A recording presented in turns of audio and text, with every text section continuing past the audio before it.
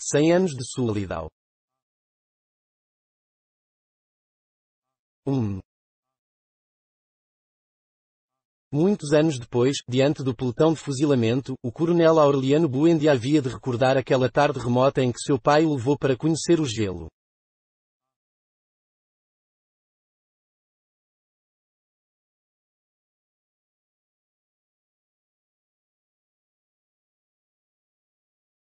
Macondo era então uma aldeia de 20 casas de barro e taquara, construídas à margem de um rio de águas diáfanas que se precipitavam por um leito de pedras polidas, brancas e enormes como ovos pré-históricos.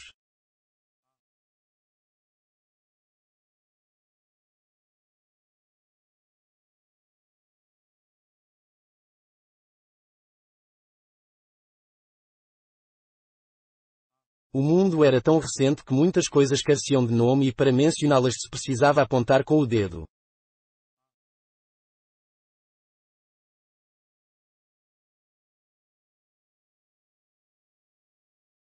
Todos os anos, pelo mês de março, uma família de ciganos esfarrapados plantava a sua tenda perto da aldeia e, com um grande alvoroço de apitos e tambores, dava a conhecer os novos inventos.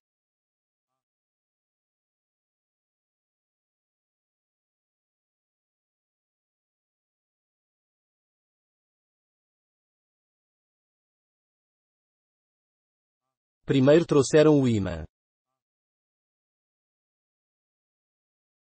Um cigano corpulento, de barba rude e mãos de pardal, que se apresentou com o nome de Melquíades, fez uma truculenta demonstração pública daquilo que ele mesmo chamava de a oitava maravilha dos sábios alquimistas da Macedônia.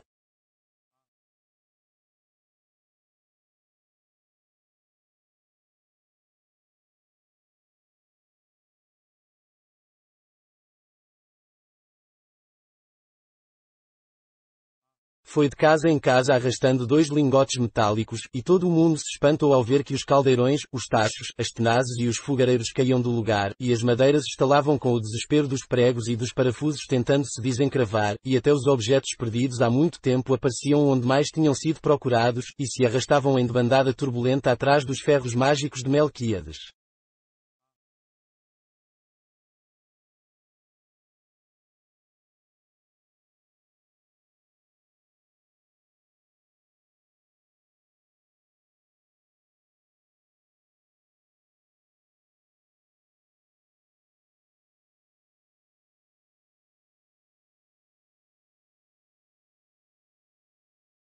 As coisas têm vida própria, apregoava o cigano com áspero sotaque.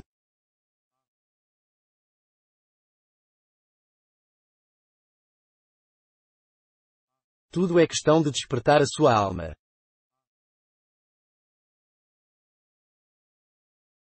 José Arcadio Buendia, cuja desatada imaginação ia sempre mais longe que o engenho da natureza, e até mesmo além do milagre e da magia, pensou que era possível se servir daquela invenção inútil para desentranhar o ouro da terra.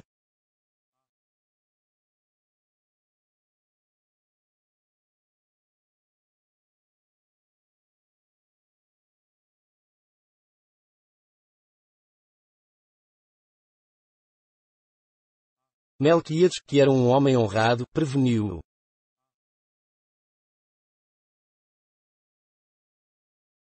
Para isso não serve. Mas José Arcadio Buendia não acreditava, naquele tempo, na honrados dos ciganos de modo que trocou o seu jumento e um rebanho de cabritos pelos dois lingotes imantados.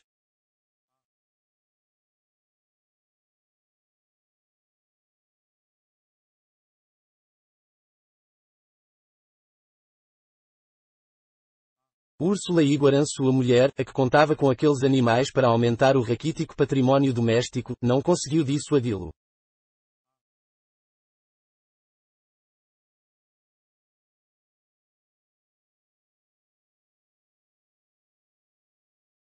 Muito em breve vamos ter ouro de sobra para assoalhar a casa, respondeu o marido.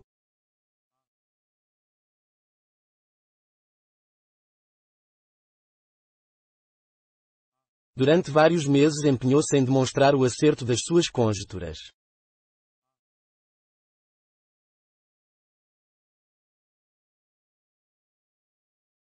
Explorou palmo a palmo a região, inclusive o fundo do rio, arrastando os dois lingotes de ferro e recitando em voz alta o conjuro de Melquíades.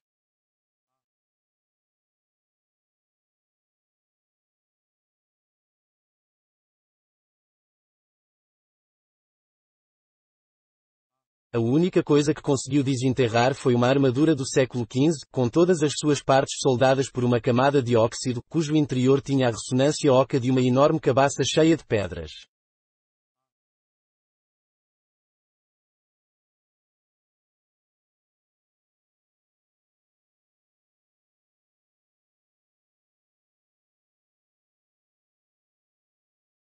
Quando José Arcadio Buendia e os quatro homens da sua expedição conseguiram desarticular a armadura, encontraram um esqueleto calcificado que trazia pendurado no pescoço um relicário de cobre com um cacho de cabelo de mulher.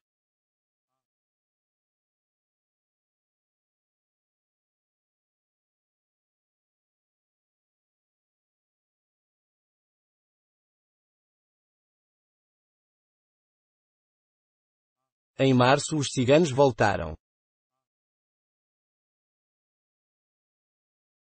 Desta vez traziam um óculos ao alcance e uma lupa do tamanho de um tambor, que exibiram como a última descoberta dos judeus de Amsterdã.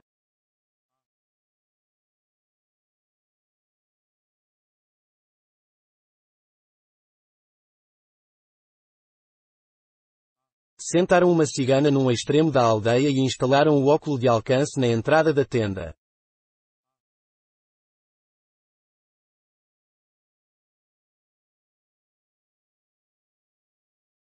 Mediante o pagamento de cinco reais, o povo se aproximava do óculo e via a cigana ao alcance da mão.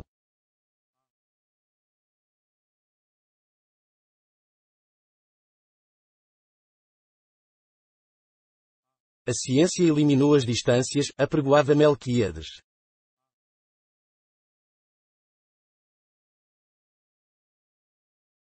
Dentro em pouco o homem poderá ver acontece em qualquer lugar da terra, sem sair de sua casa.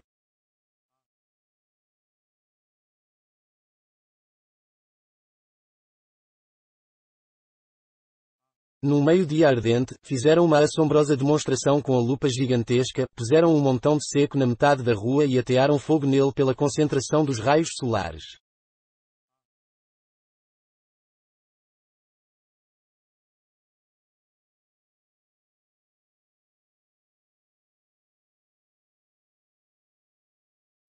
José Arcadio Buendia, que ainda não se consolara de todo do fracasso dos seus imãs, concebeu a ideia de utilizar aquele invento como uma arma de guerra.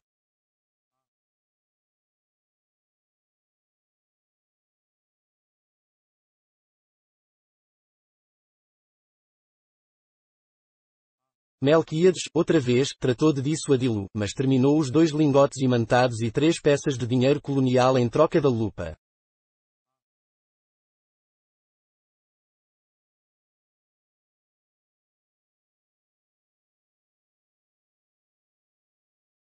Úrsula chorou de consternação. Aquele dinheiro fazia parte de um cofre de moedas de ouro que seu pai acumulara em toda uma vida de privações e que havia enterrado debaixo da cama, à espera de uma boa ocasião para investi-las.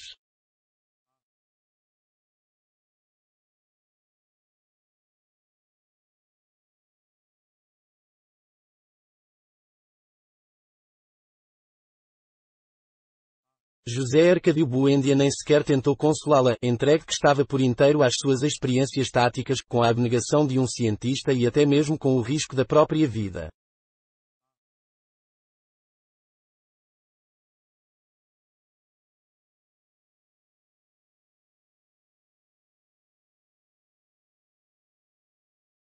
Tentando demonstrar os efeitos da lupa na tropa inimiga, ele mesmo se expôs à concentração dos raios solares e sofreu queimaduras que se transformaram em úlceras e demoraram muito tempo para sarar.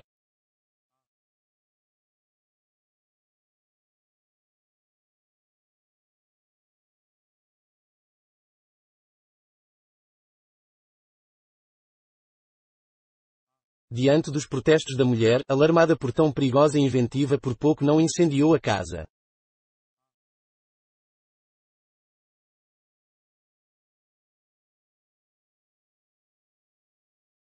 Passava longas horas no quarto, fazendo os cálculos das possibilidades estratégicas da nova arma, até que conseguiu compor um manual de uma assombrosa clareza didática e um poder de convicção irresistível.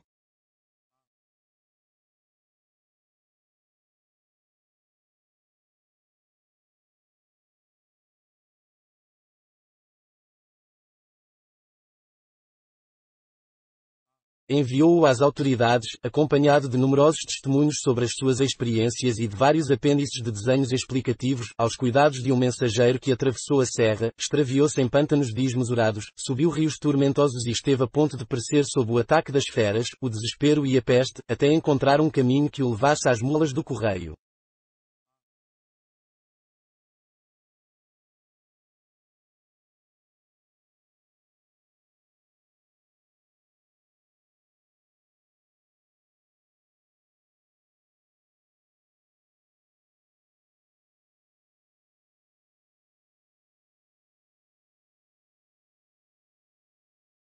Embora a viagem à capital fosse naquele tempo quase impossível, José Arcadio Buendia prometia tentá-la logo que o governo ordenasse, com o fim de fazer demonstrações práticas do seu invento diante dos poderes militares, e adestrá-los pessoalmente nas complicadas artes da guerra solar.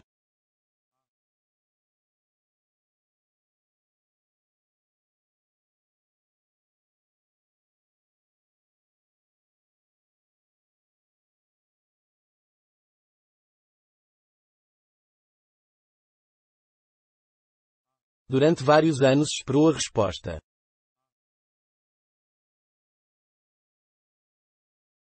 Por fim, cansado de esperar, lamentou-se diante de Melquíades do fracasso da sua iniciativa e o cigano, então, deu uma prova convincente de honrados, devolveu-lhe os dobrões em troca da lupa e deixou, para ele, além disso, uns mapas portugueses e vários instrumentos de navegação.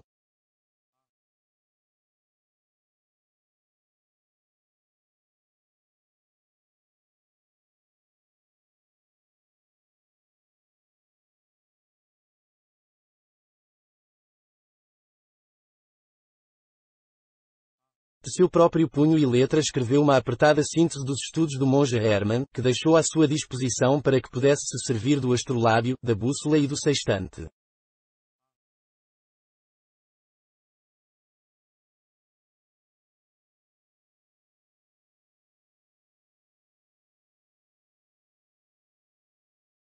José Arcadio Buendia passou os longos meses de chuva fechado num quartinho que construíra no fundo da casa, para que ninguém perturbasse as suas experiências.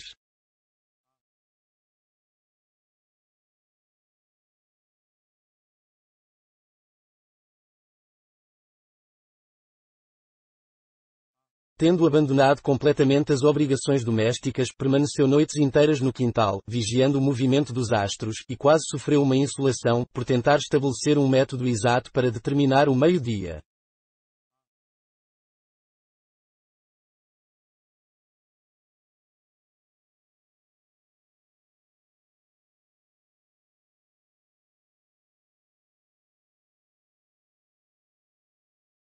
Quando se tornou perito no uso e manejo dos seus instrumentos, passou a ter uma noção do espaço que lhe permitiu navegar por mares incógnitos, visitar territórios desabitados e travar relações com seres esplêndidos, sem necessidade de abandonar o seu gabinete.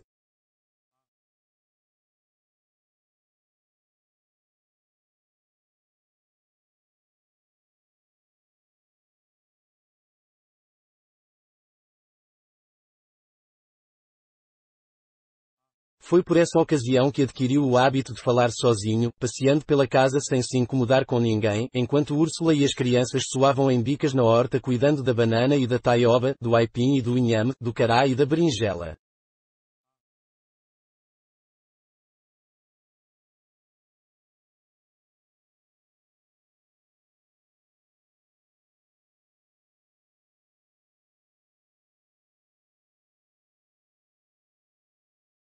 De repente, sem anúncio prévio, a sua atividade febril se interrompeu e foi substituída por uma espécie de fascinação.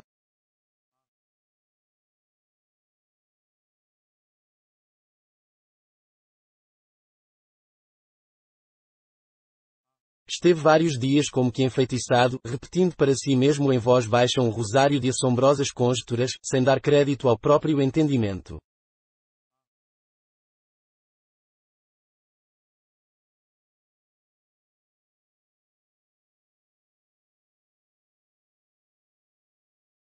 Por fim, numa terça-feira de dezembro, na hora do almoço, soltou de uma vez todo o peso do seu tormento.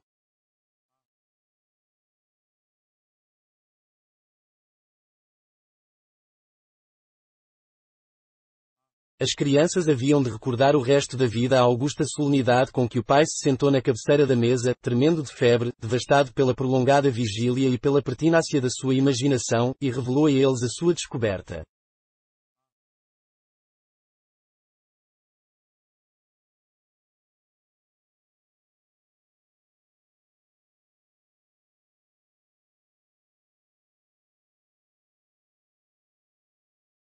A terra é redonda como uma laranja. Úrsula perdeu a paciência. Se você pretende ficar louco, fique sozinho, gritou.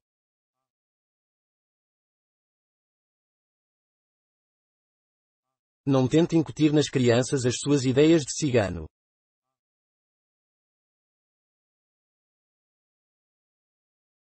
José Arcadio Buendia, impassível, não se deixou amedrontar pelo desespero da mulher que, num impulso de cólera, destroçou o astrolábio contra o solo.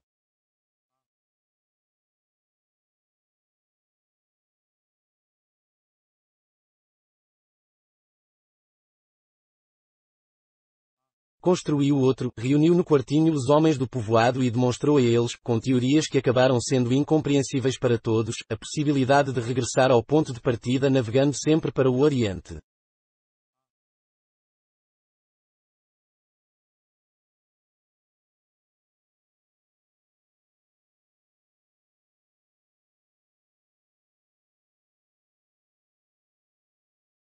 A aldeia inteira já estava convencida de que José Arcadio Buendia tinha perdido o juízo, quando Melquiades chegou para pôr a coisa em pratos limpos.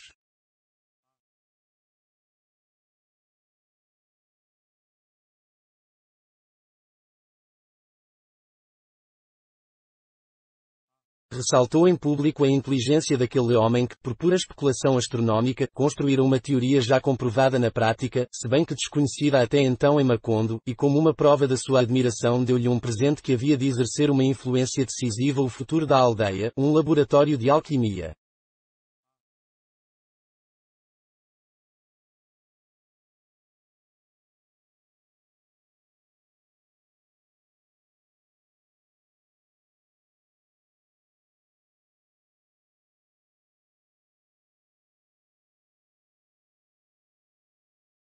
Por essa época, Melquiades tinha envelhecido com uma rapidez assombrosa.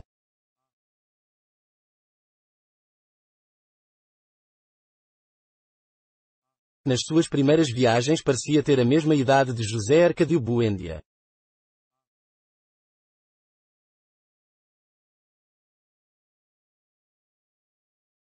Mas enquanto este conservava a sua força descomunal, que lhe permitia derrubar um cavalo agarrando-o pelas orelhas, o cigano parecia estragado por um mal tenaz.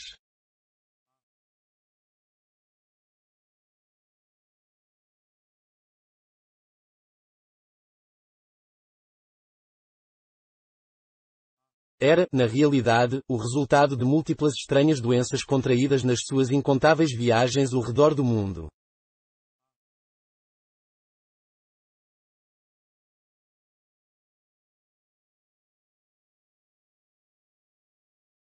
Conforme ele mesmo contou a José Arcadio Buendia, enquanto o ajudava a montar o laboratório, Morto seguia por todas as partes, farejando-lhe as calças, as sem se decidir a dar o bote final.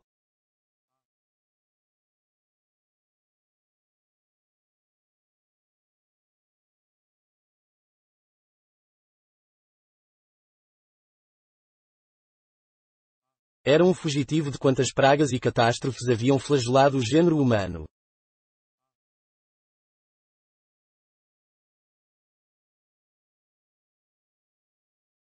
Sobreviveu à pelagra na Pérsia, ao escorbuto no arquipélago da Malásia, à lepra em Alexandria, ao beriberi no Japão, à peste bubónica em Madagascar, ao terremoto na Sicília e a um naufrágio multitudinário no Estreito de Magalhães.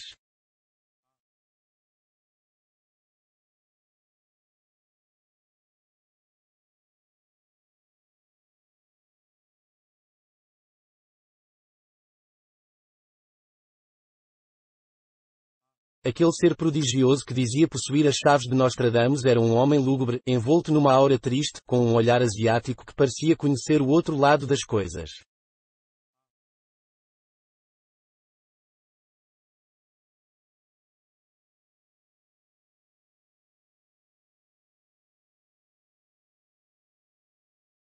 Usava um chapéu grande e negro, como as asas estendidas de um corvo, e um casaco de veludo patinado pelo limo dos séculos.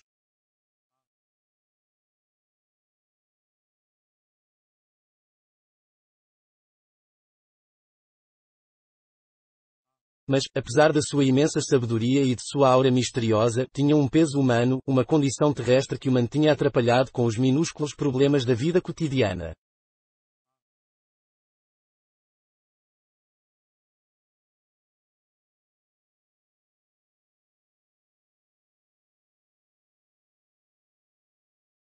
Queixava-se de achaques de velho, sofria pelos mais insignificantes prejuízos económicos e tinha deixado de rir há muito tempo, porque o escorbuto lhe havia arrancado os dentes.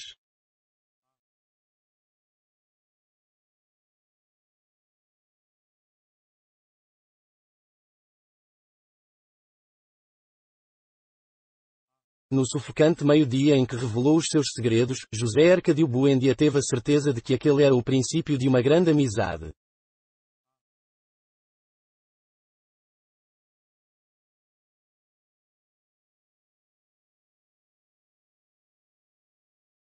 As crianças se assombraram com os seus relatos fantásticos.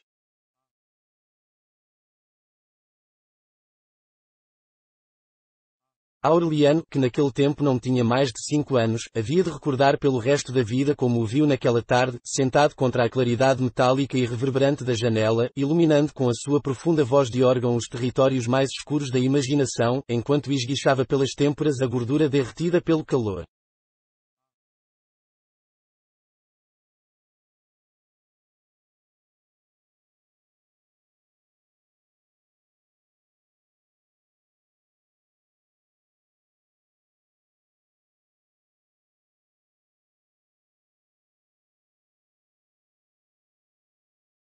José Arcadio, seu irmão mais velho, havia de transmitir aquela imagem maravilhosa, cor numa recordação hereditária, a toda a sua descendência.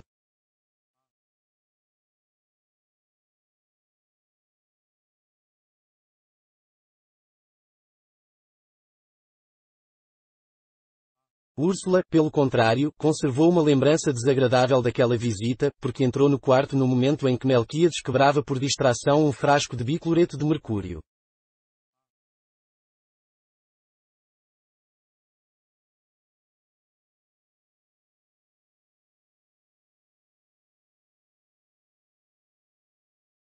É o cheiro do demónio, ela disse. Absolutamente, corrigiu Melquíades.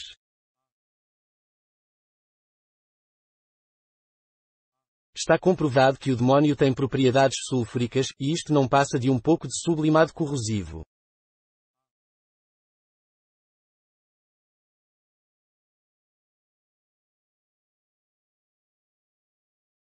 Sempre didático, fez uma sábia exposição sobre as virtudes diabólicas do cinabre, mas Úrsula não lhe deu a menor atenção e levou as crianças para rezar.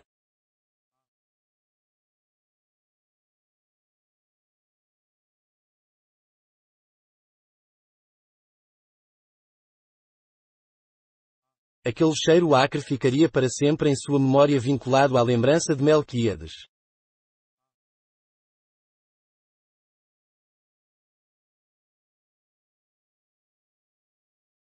O laboratório rudimentar, não se falando na profusão e caçarolas, funis, retortas, filtros e coadores, estava composto de uma tubulação primitiva, uma proveta de cristal, de pescoço comprido e estreito, imitação do ovo filosófico, e um alambique construído pelos próprios ciganos, de acordo com as descrições daquele de três braços, de Maria, a judia.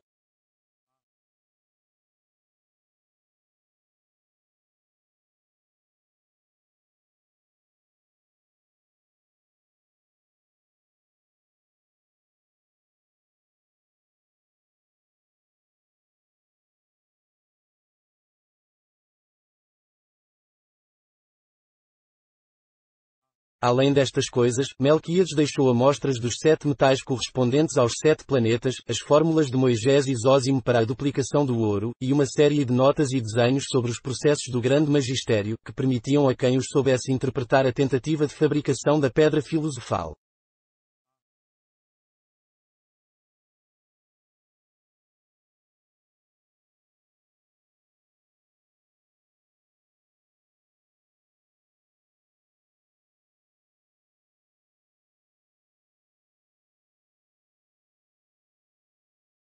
Seduzido pela simplicidade das fórmulas para duplicar o ouro, José Arcádio Buendia adulou Úrsula durante várias semanas, para que lhe permitisse desenterrar as suas moedas coloniais e aumentá-las tantas vezes quantas fosse possível subdividir o azogue.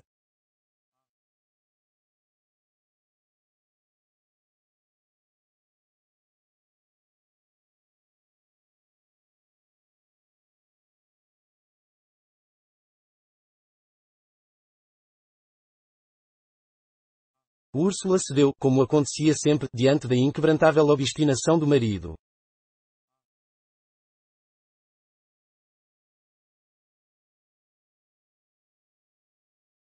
Então, José Arcádio Buendia jogou 30 dobrões numa caçarola e os fundiu com raspa de cobre, ouro pigmento, enxofre e chumbo.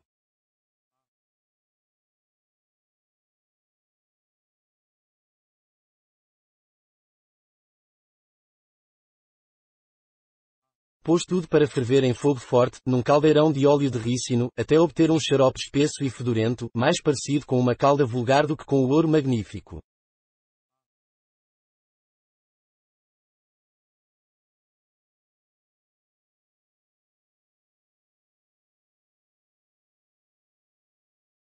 Em azarados e desesperados processos de destilação, fundida com os sete metais planetários, trabalhada com o mercúrio hermético e o vítrilo de Chipre, e novamente cozida em banha de porco na falta de óleo de rábano, a preciosa herança de Úrsula ficou reduzida a um torresmo carbonizado que não pode ser desprendido do fundo do caldeirão.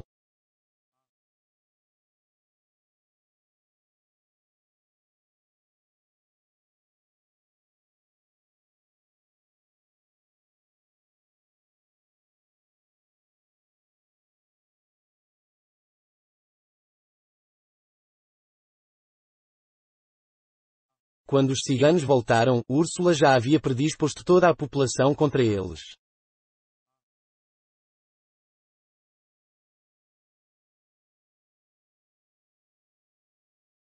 Mas a curiosidade pode mais que o temor, porque daquela vez os ciganos percorreram a aldeia fazendo um barulho ensurdecedor com todo tipo de instrumentos musicais, enquanto o pregoeiro anunciava a exibição da mais fabulosa descoberta dos nasciencenos.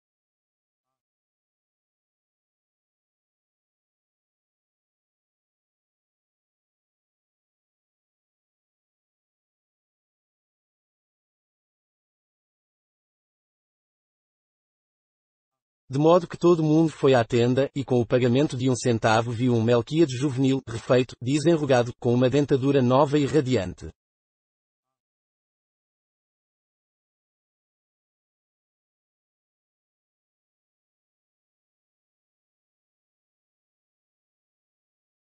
Os que recordavam as suas gengivas destruídas pelo escorbuto, as suas bochechas flácidas e os seus lábios murchos, estremeceram de pavor diante daquela prova decisiva dos poderes sobrenaturais do cigano.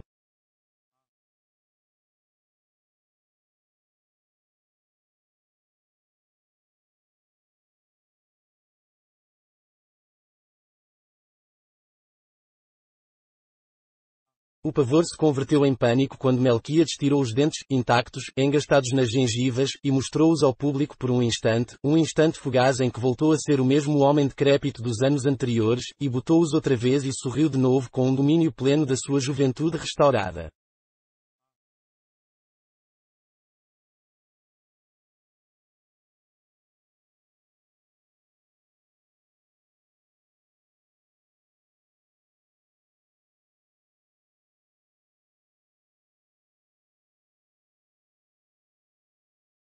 Até o próprio José Arcádio Buendia considerou que os conhecimentos de Melquíades tinham chegado a extremos intoleráveis, mas experimentou um saudável alvoroço quando o cigano lhe explicou a sós o mecanismo da sua dentadura postiça.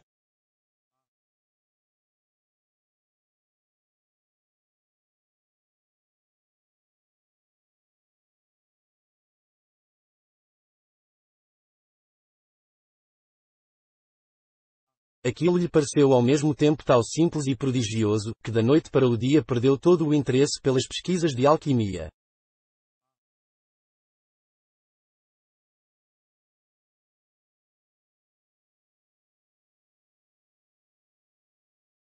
Sofreu uma nova crise de mau humor. Não voltou a comer de maneira regular e passava o dia dando voltas pela casa.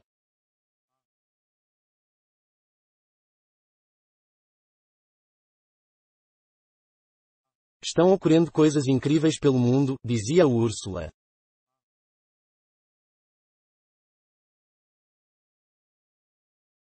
Aí mesmo, do outro lado do rio, existe todo tipo de aparelho mágico, enquanto nós continuamos vivendo como os burros.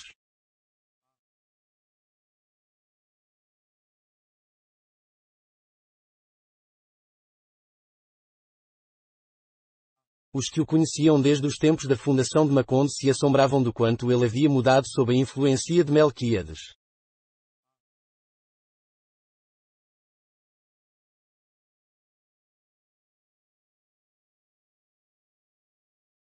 No princípio, José Arcadio Buendia era uma espécie de patriarca juvenil, que dava instruções para o plantio e conselhos para a criação de filhos e animais, e colaborava com todos, mesmo no trabalho físico, para o bom andamento da comunidade.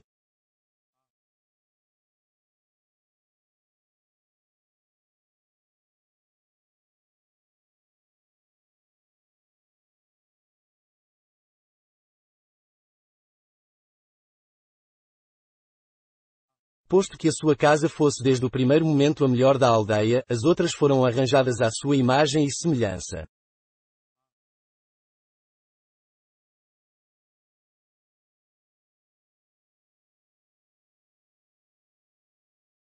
Tinha uma saleta ampla e bem iluminada, uma sala de jantar em forma de terraço com flores de cores alegres, dois quartos, um quintal com um castanheiro gigantesco, um jardim bem plantado e um curral onde viviam em comunidade pacífica os cabritos, os porcos e as galinhas.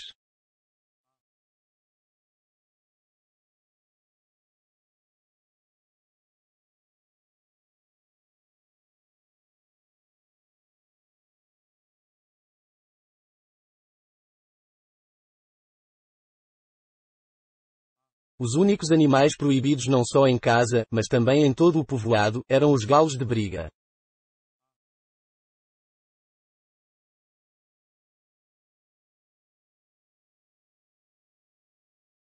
A diligência de Úrsula andava de braços com a de seu marido.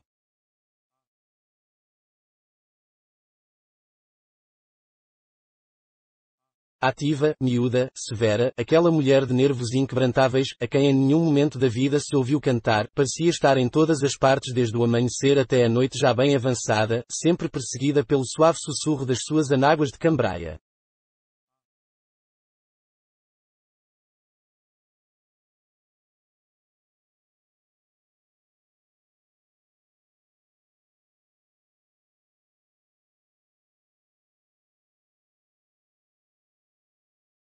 Graças a ela, o chão de terra batida, os muros de barro sem caiação, os rústicos móveis de madeira construídos por eles mesmos estavam sempre limpos, e as velhas arcas onde se guardava a roupa exalavam um cheiro tênue de manjericão.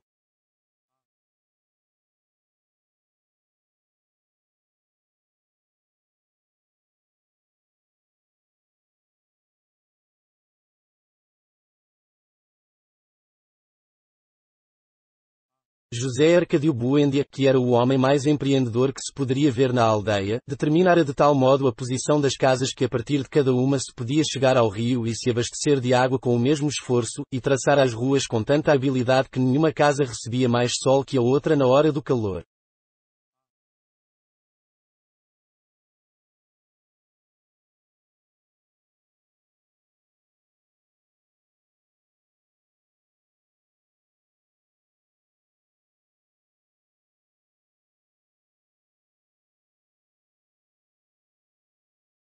Dentro de poucos anos, Maconde se tornou uma aldeia mais organizada e laboriosa que qualquer das conhecidas até então pelos seus 300 habitantes.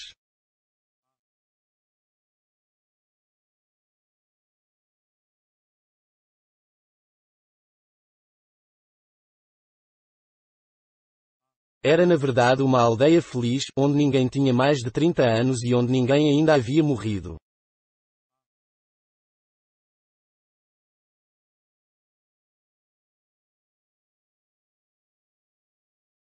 Desde os tempos da fundação, José Arcadio Buendia construirá alçapões e gaiolas.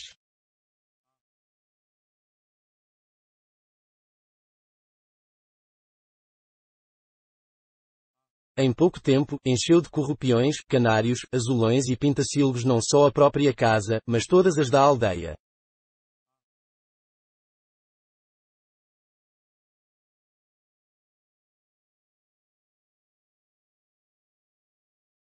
O concerto de tantos pássaros diferentes chegou a ser tão aturdidor que Úrsula tapou os ouvidos com cera de abelha para não perder o senso da realidade.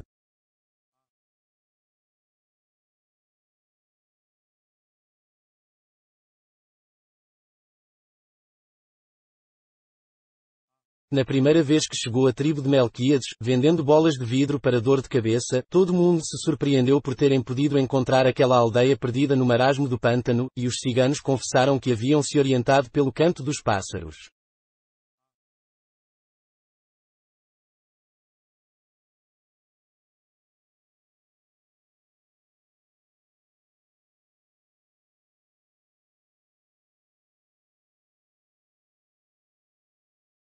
Aquele espírito de iniciativa social desapareceu em pouco tempo, arrastado pela febre dos ímãs, pelos cálculos astronómicos, sonhos de transmutação e ânsias de conhecer as maravilhas do mundo.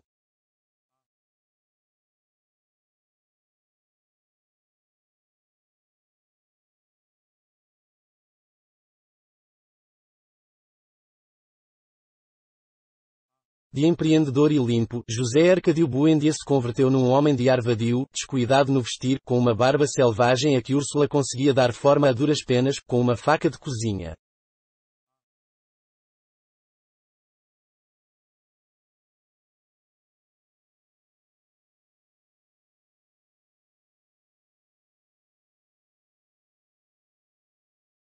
Não faltou quem o considerasse vítima de algum estranho sortilégio.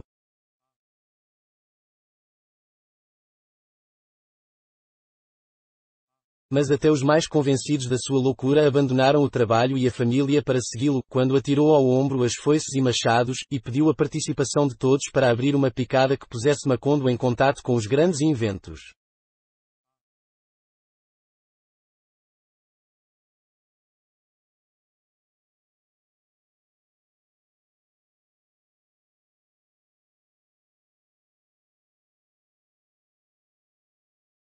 José Arcadio Buendia ignorava por completo a geografia da região.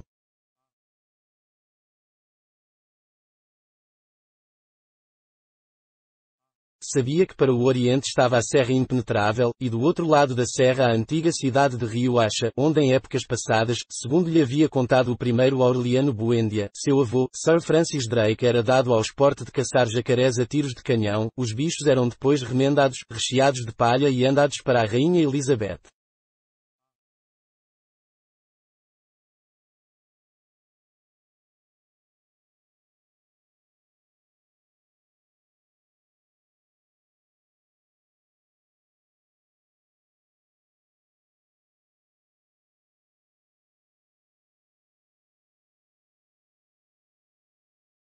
Na sua juventude, ele e seus homens, com mulheres e crianças e animais e toda espécie de utensílios domésticos, atravessaram a serra procurando uma saída para o mar, e ao fim de 26 meses desistiram da empresa e fundaram Maconde, para não ter que empreender o caminho de volta.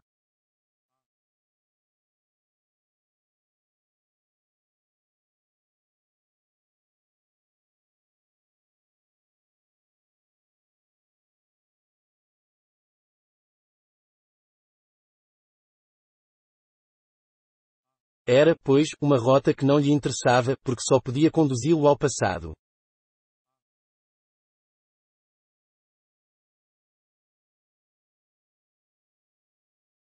Ao sul estavam os charcos cobertos de uma eterna nata vegetal, e o vasto universo do grande Pantanal, que, segundo testemunho dos ciganos, carecia de limites.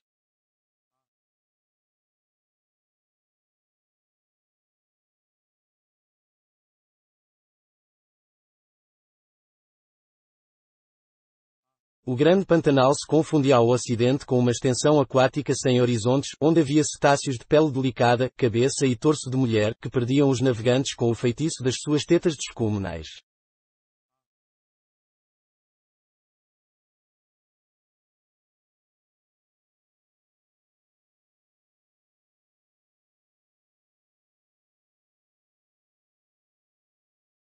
Os ciganos navegavam seis meses por essa rota antes de alcançar a faixa de terra firme por onde passavam as mulas do correio.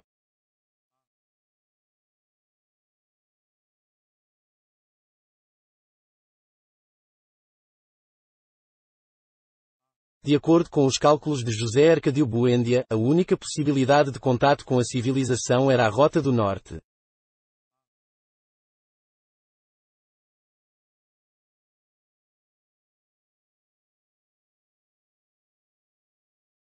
De modo que dotou de foices, facões e armas de caça os mesmos homens que o acompanharam na fundação de Macondo.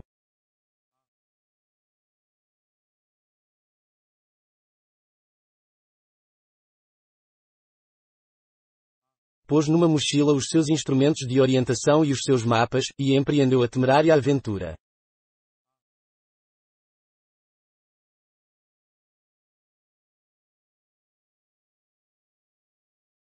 Nos primeiros dias, não encontraram nenhum obstáculo apreciável.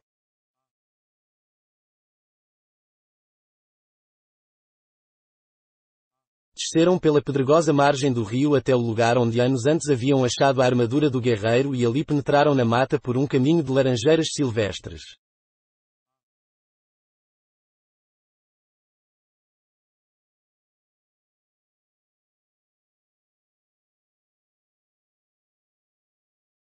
Ao fim da primeira semana, mataram e assaram um veado, mas se conformaram em comer a metade e salgar o resto para os próximos dias.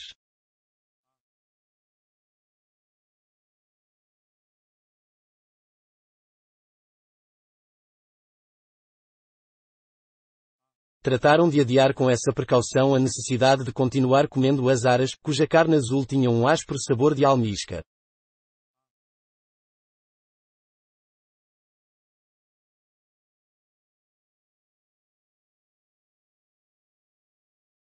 Em seguida, durante mais de dez dias, não voltaram a ver o sol.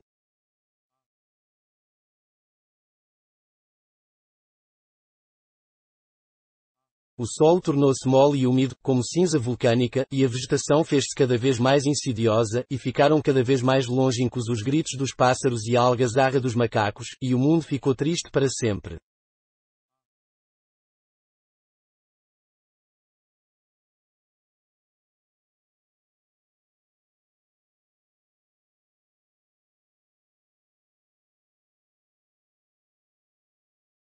Os homens da expedição se sentiram angustiados pelas lembranças mais antigas, naquele paraíso de umidade e silêncio, anterior ao pecado original, onde as botas se afundavam em poças de óleos fumegantes e os facões destroçavam lírios sangrentos e salamandras douradas.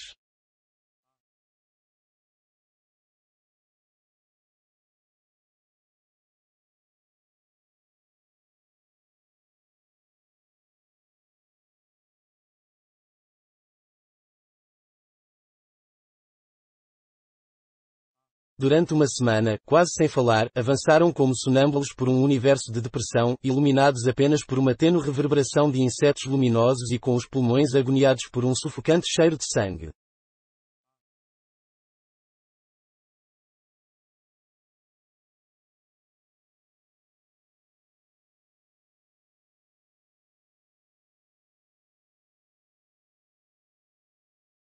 Não podiam regressar, porque a picada que iam abrindo em pouco tempo tornava a se fechar com uma vegetação nova que ia crescendo a olhos vistos.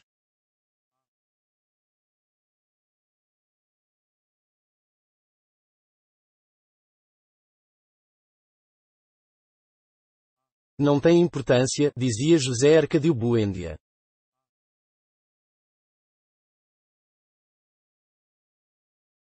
O essencial é não perder a orientação.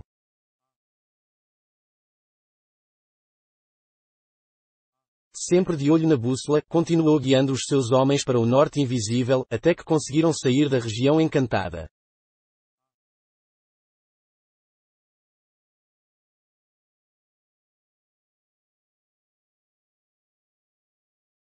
Era uma noite densa, sem estrelas, mas a escuridão estava impregnada de um ar novo e limpo.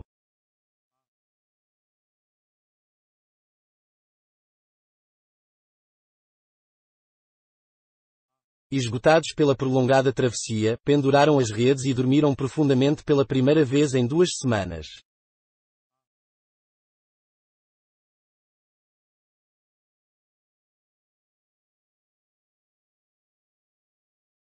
Quando acordaram, já com o sol alto, ficaram pasmos de fascinação.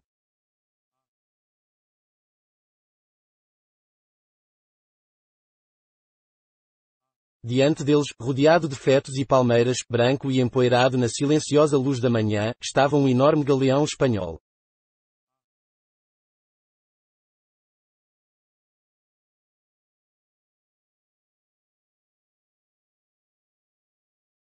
Ligeiramente inclinado para este borde, sua mastreação intacta penduravam-se os fiapos esquálidos do velame, entre enxercia enfeitada de orquídeas.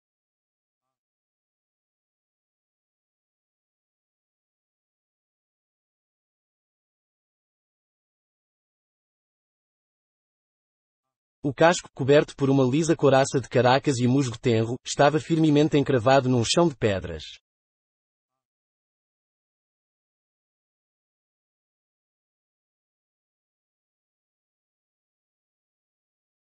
Toda a estrutura parecia ocupar um âmbito próprio, um espaço de solidão e esquecimento, vedado aos vícios do tempo e aos maus hábitos dos pássaros.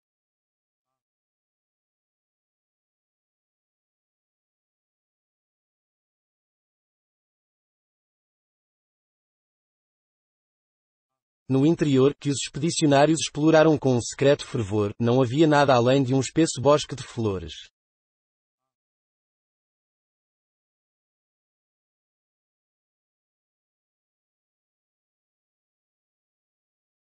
O achado do galeão, indício da proximidade do mar, quebrantou o ímpeto de José Arcadio Buendia.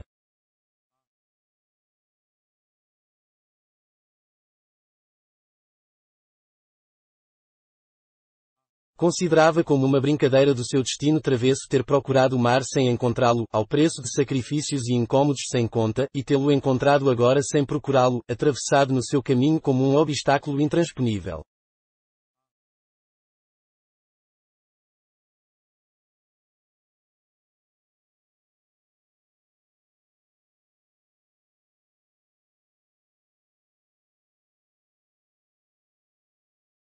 Muitos anos depois, o coronel Aureliano Buendia voltou a atravessar a região, quando já era uma rota regular do correio, e a única coisa que encontrou da nave foi o esqueleto carbonizado no meio de um campo de amapolas.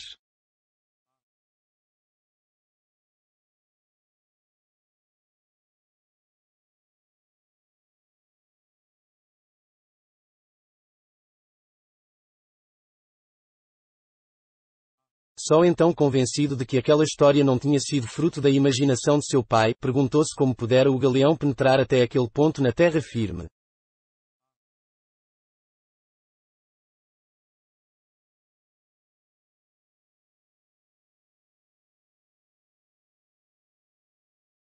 Mas José Arcadio Buendia não levantou esse problema quando encontrou o mar, ao fim de outros quatro dias de viagem, a 12 quilómetros de distância do galeão.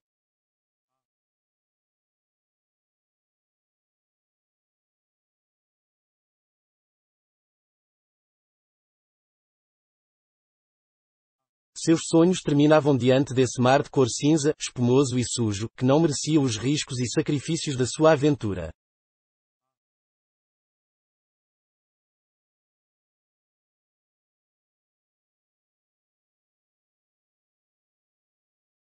Porra, gritou.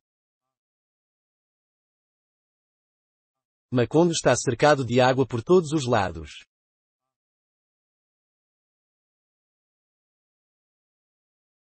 A ideia de uma conde peninsular prevaleceu durante muito tempo, inspirada no mapa arbitrário que José Arcadio Buendia desenhou ao regressar da sua expedição.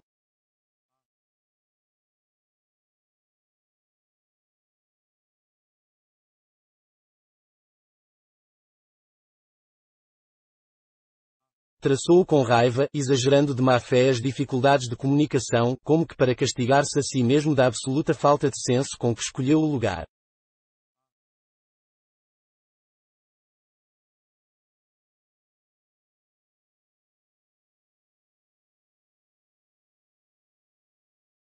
Nunca chegaremos a parte alguma, lamentava-se para Úrsula.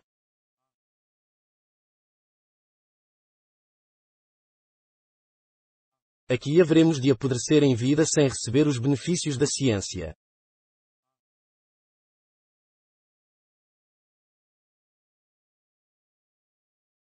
Essa certeza, ruminada por vários meses no quartinho do laboratório, levou-o a conceber o projeto de trasladar Maconde para um lugar mais propício.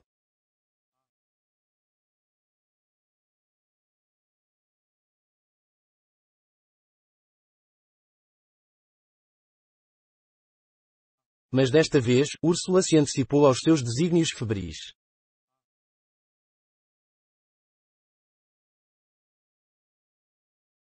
Num secreto e implacável trabalho de formiga, predispôs as mulheres da aldeia contra a veleidade dos seus homens, que já começavam a se preparar para a mudança.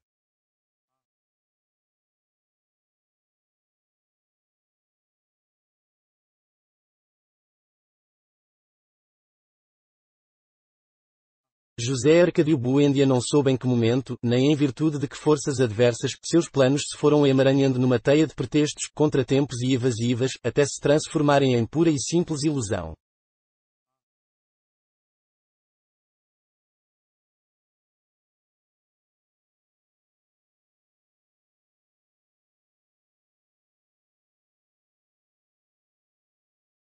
Úrsula observou-o com uma atenção inocente, e até sentiu por ele um pouco de piedade na manhã em que o encontrou no quarto dos fundos comentando entre dentes os seus sonhos de mudança, enquanto colocava nas suas caixas originais as peças do laboratório.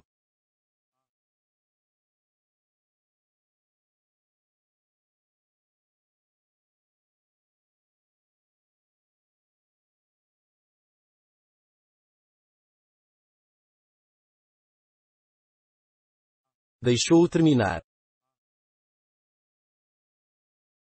Deixou-o pregar as caixas e pôr as suas iniciais em cima com um pincel cheio de tinta sem lhe fazer nenhuma censura, mas já sabendo que ele, porque o ouviu dizer em seus surdos monólogos que os homens do povoado não o seguiriam na empresa.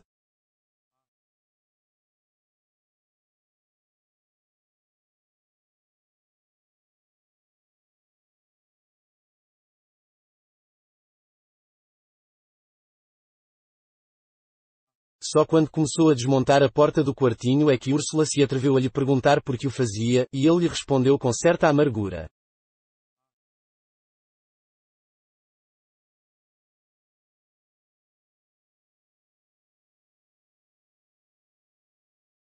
Já que ninguém quer ir embora, nós iremos sozinhos.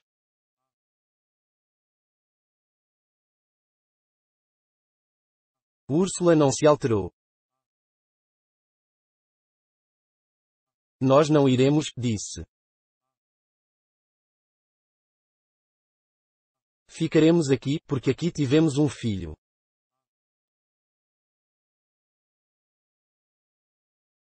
Ainda não temos um morto, ele disse.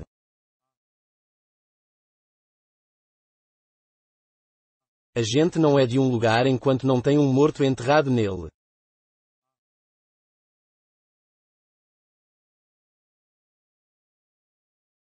Úrsula replicou com uma suave firmeza.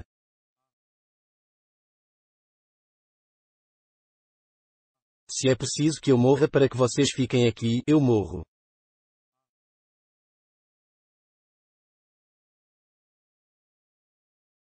José Arcadio Buendia não acreditou que fosse tão rígida a vontade de sua mulher.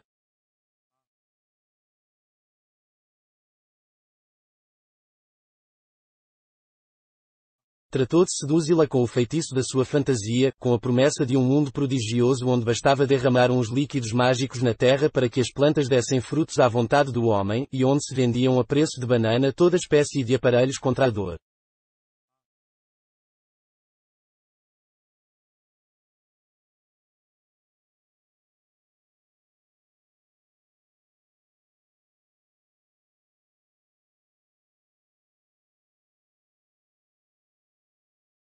mas Úrsula foi insensível à sua clarividência.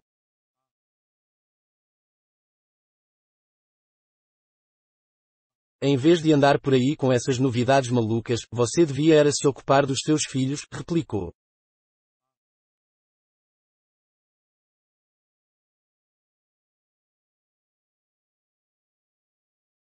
Olhe como estão, abandonados ao Deus dará, como os burros.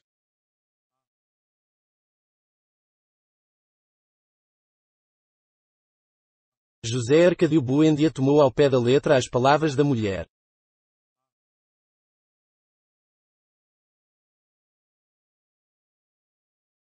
Olhou pela janela e viu os dois meninos descalços na horta ensolarada, e teve a impressão de que só naquele instante tinham começado a existir, concebidos pelos rogos de Úrsula.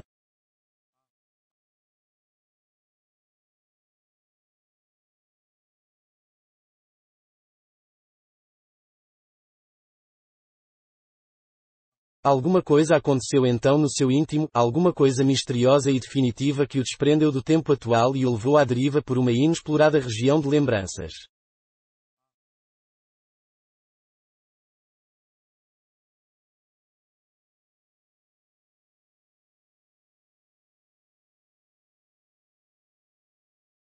Enquanto Úrsula continuava varrendo a casa que agora estava certa de não abandonar para o resto da vida, ele permaneceu contemplando as crianças com um olhar absorto, até que seus olhos se encheram d'água e ele os enxugou com o dorso da mão, exalando um profundo suspiro de resignação.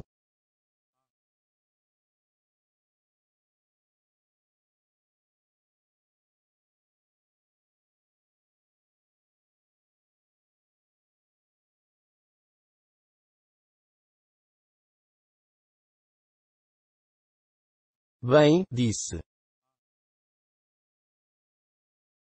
Diga-lhes que venham me ajudar a tirar as coisas dos caixotes.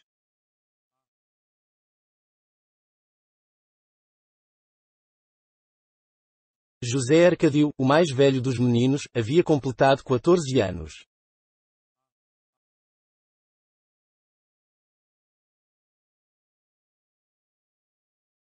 Tinha a cabeça quadrada, o cabelo hirsuto e o gênio voluntarioso do pai.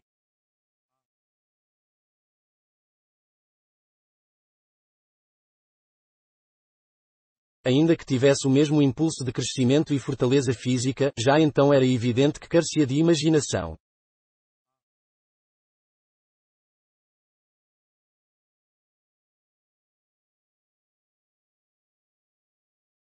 Foi concebido e dado à luz durante a penosa travessia da serra, antes da fundação de Macondo, e seus pais deram graças aos céus ao comprovar que não tinha nenhum órgão de animal.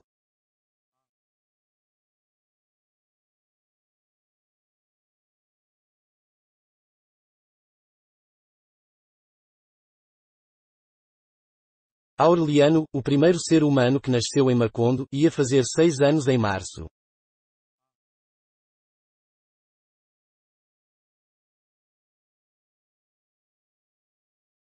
Era silencioso e retraído.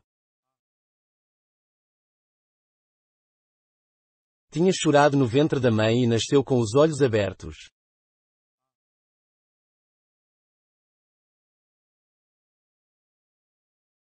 Enquanto lhe cortavam o umbigo movia a cabeça de um lado para o outro, reconhecendo as coisas do quarto, e examinava o rosto das pessoas com uma curiosidade sem assombro.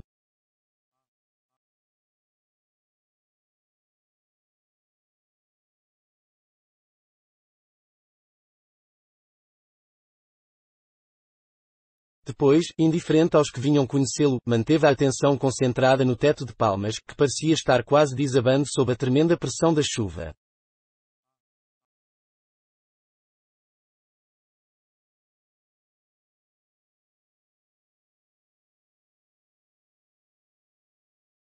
Úrsula não tornou a se lembrar da intensidade desse olhar até o dia em que o pequeno Aureliano, na idade de três anos, entrou na cozinha no momento em que ela retirava do fogão e punha na mesa uma panela de caldo fervente.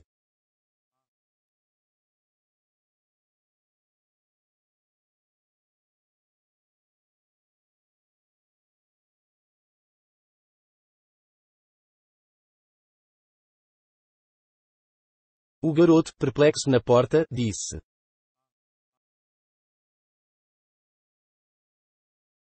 Vai cair.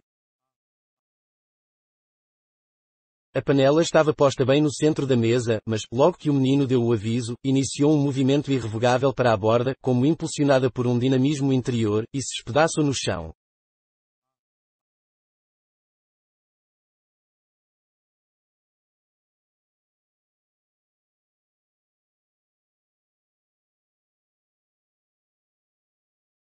Úrsula, alarmada, contou o episódio ao marido, mas este o interpretou como um fenómeno natural.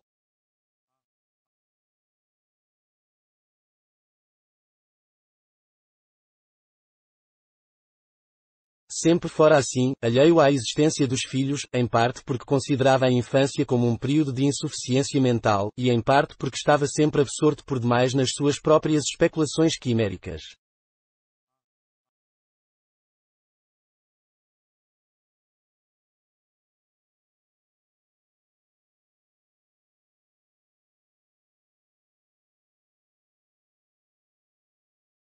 Desde a tarde, porém, em que chamou os meninos para que o ajudassem a desempacotar as coisas do laboratório, dedicou-lhes as suas melhores horas.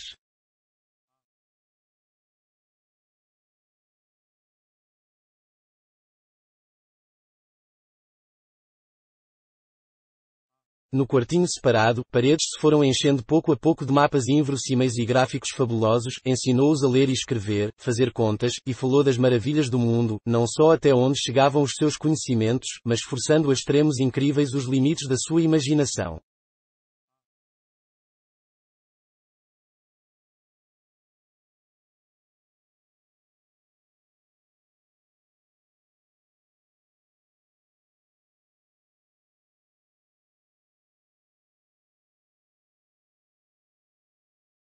Foi assim que os meninos acabaram por aprender que no extremo meridional da África havia homens tão inteligentes e pacíficos que o único entretenimento era sentar para pensar, e que era possível atravessar a pé o mar Egeu pulando de ilha em ilha Porto de Salónica.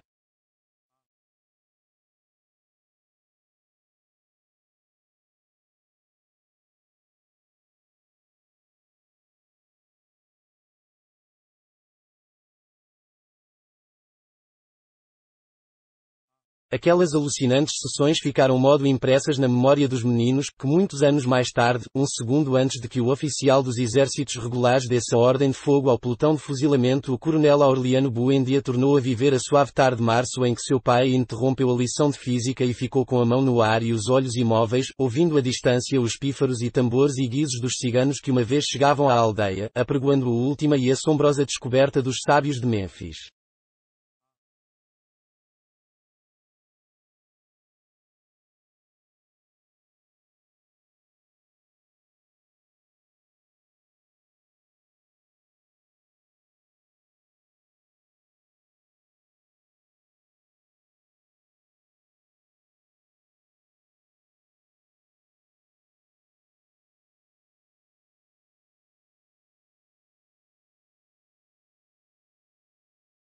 Eram ciganos novos, homens e mulheres jovens que só conheciam a sua própria língua, exemplares formosos de pele e mãos inteligentes, cujas danças e músicas semearam nas ruas um pânico de alvoroçada alegria, com as suas araras de todas as cores que recitavam romanças italianas, a galinha que punha uma centena de ovos de ouro ao som de um pandeiro, e o macaco amestrado que adivinhava o pensamento e a máquina múltipla que servia ao mesmo tempo para pregar botões e baixar a febre, e o aparelho para esquecer más recordações, e o emplastro para perder o tempo, e mil invenções tão engenhosas e insólitas, que José Arcadio Buendia gostaria de inventar a máquina da memória para se lembrar de todas.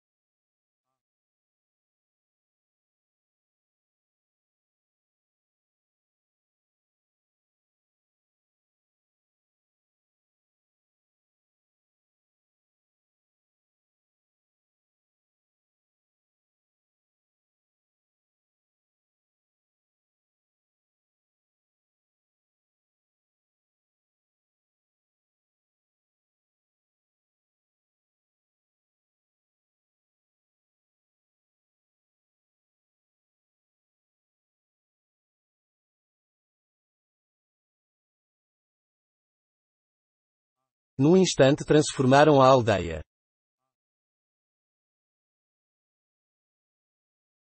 Os habitantes de Macondo se encontraram de repente perdidos nas suas próprias ruas, aturdidos pela feira multitudinária.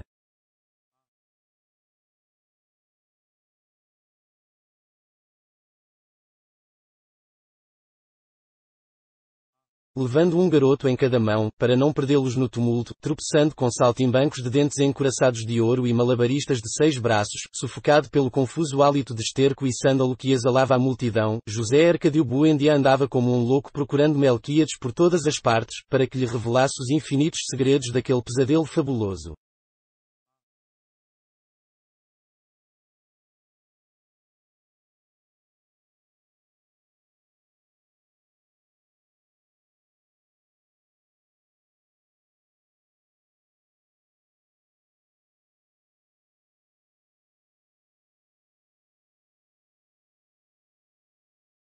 Dirigiu-se a vários ciganos que não entenderam a sua língua.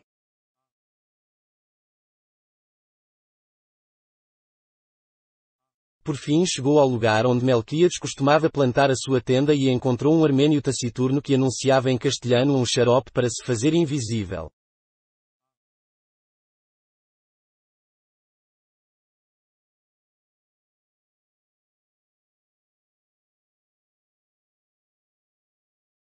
Tinha tomado de um gole uma taça da substância âmbarina, quando José Arcadio Buendia abriu passagem aos empurrões por entre o grupo absorto que presenciava o espetáculo e conseguiu fazer a pergunta.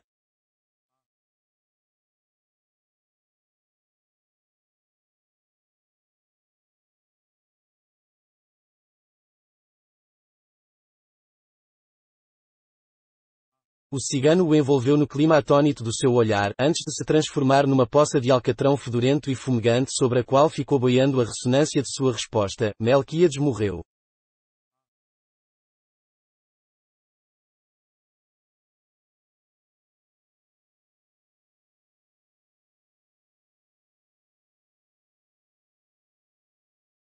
Aturdido pela notícia, José Arcadio Buendia permaneceu imóvel, tratando de vencer a aflição, até que o grupo se dispersou, reclamando por outros artifícios, e a poça do armênio taciturno se evaporou completamente.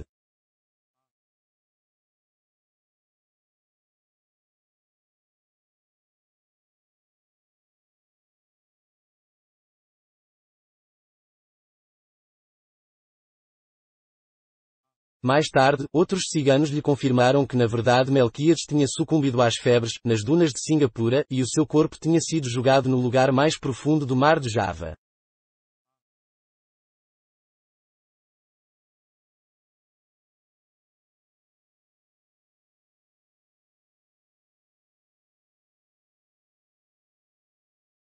Os meninos não se interessaram pela notícia.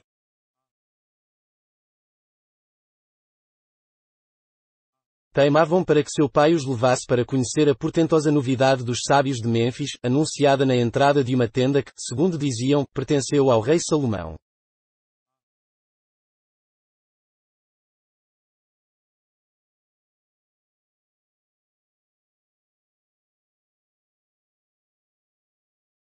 Tanto insistiram que José Arcadio Buendia pagou os 30 reais e os conduziu até o centro da barraca, onde havia um gigante de torso peludo e cabeça raspada, com um anel de cobre no nariz e uma pesada corrente de ferro no tornozelo, vigiando um cofre de pirata.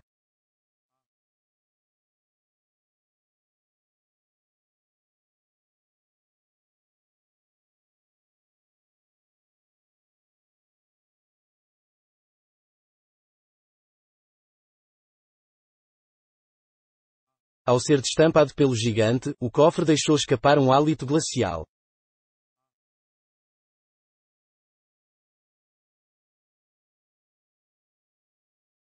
Dentro havia apenas um enorme bloco transparente, com infinitas agulhas internas nas quais se despedaçava em estrelas de cores a claridade do crepúsculo.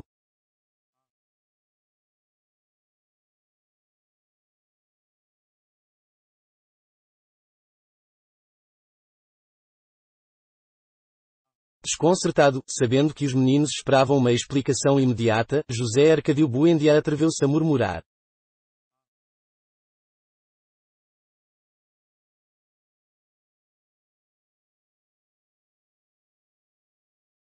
É o maior diamante do mundo. Não, corrigiu o cigano. É gelo. José Arcadio Buendia, sem entender, estendeu a mão para Bloco, mas o gigante afastou-a.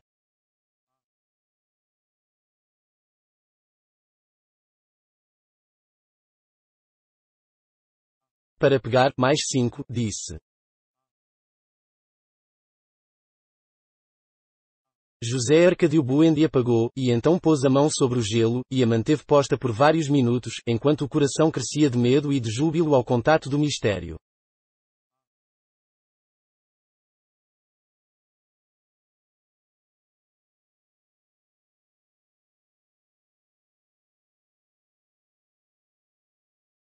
Sem saber o que dizer, pagou outros 10 reais para que os seus filhos vivessem a prodigiosa experiência.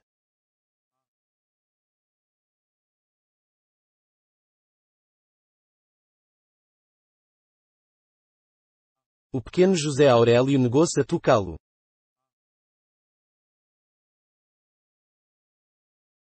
Aureliano, em compensação, deu um passo para diante, pôs a mão e retirou-a no ato.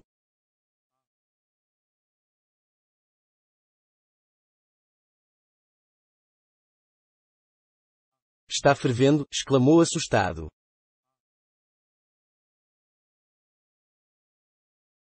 Mas o pai não lhe prestou atenção. Embriagado pela evidência do prodígio, naquele momento esqueceu da frustração das suas empresas delirantes e do corpo de Melquíades abandonado ao apetite das lulas.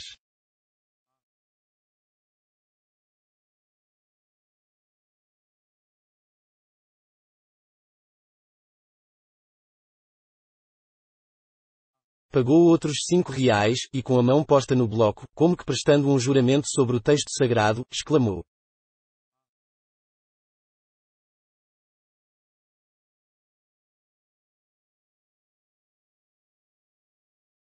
Este é o grande invento do nosso tempo.